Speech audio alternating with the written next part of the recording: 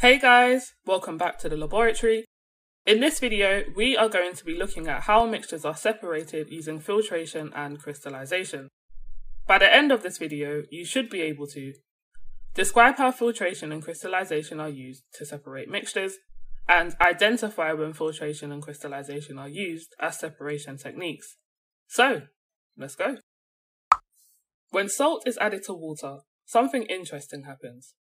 The salt molecules mix with the water molecules and appear to disappear. In chemistry, we say that the salt has dissolved. Together, the salt and water form a mixture called a solution. A solution is the mixture formed when a solute dissolves into a solvent. A solvent is a liquid that can dissolve a solid, and in this scenario, the solvent would be the water. This is the most common solvent found in mixtures. A solute is a solid that can be dissolved, and in this scenario, the solute would be the salt. All solutes are described as being soluble. This simply means that they are able to dissolve. In contrast, any substance described as insoluble cannot be dissolved. If we wanted to obtain the salt from this saltwater solution, we would use a separation technique called crystallization.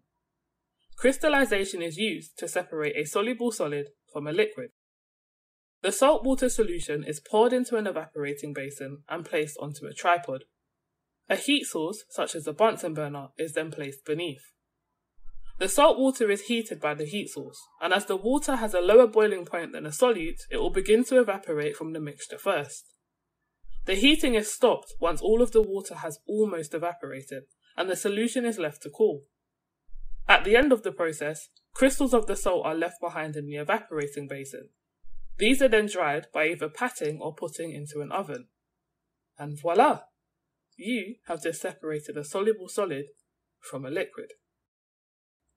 Filtration is a separation technique used in slightly different circumstances. Filtration is used to separate an insoluble solid from a liquid. This time, your solid has not dissolved into the mixture. We can use a mixture of sand and water as an example.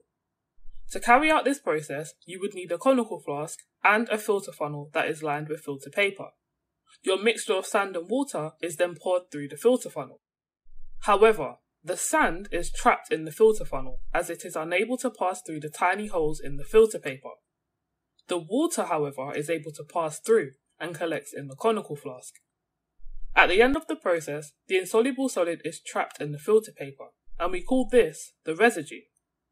The liquid is collected in the conical flask, and we call this the filtrate. Here's an example of an exam style question that you may be asked on this topic. Pause the video, read the question, and take your time to answer.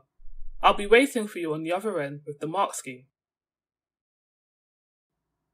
This question here is a juicy one. A sample of rock salt contains a mixture of sodium chloride and some insoluble substances. This first line is already very important. Sodium chloride is the scientific name for table salt and at GCSE level you are expected to know this. Table salt is soluble, so in other words, this first sentence is telling you that rock salt contains a mixture of soluble and insoluble substances. The rock salt is added to water. When the rock salt is added to water, the sodium chloride will dissolve into the water, forming a sodium chloride solution. However, your insoluble substances will not dissolve. The mixture is then filtered.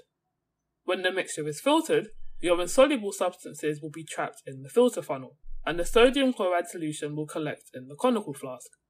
So, how do you obtain a sample of pure, dry sodium chloride crystals? Guys, this question is simply a very fancy way of asking you to describe crystallization. That's it. And for a three mark question, that means three good points or steps. So, your first marking point is for mentioning that you would need to heat the solution.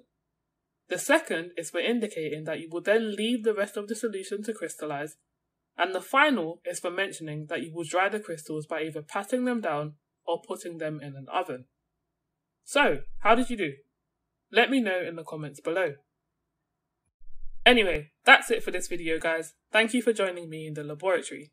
Please leave a like on this video if you found it useful and don't forget to subscribe to the channel so that you don't miss another one. See you soon!